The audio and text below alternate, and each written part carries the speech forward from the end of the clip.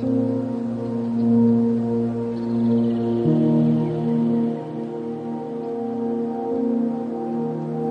think Expo is a great tool of telling anybody who you are and what you are.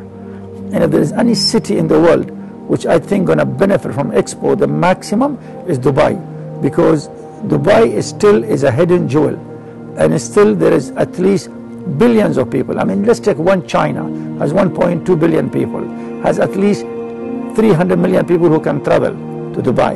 I don't think even one percent of them have come to Dubai. So when they're going to come because of Expo, I think the Dubai tourism, trade, property market, everything going to grow tremendously after the Expo.